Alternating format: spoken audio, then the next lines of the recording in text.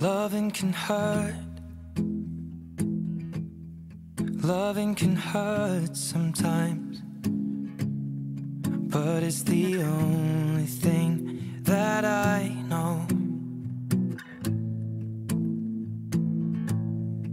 When it gets hard, you know it can get hard sometimes.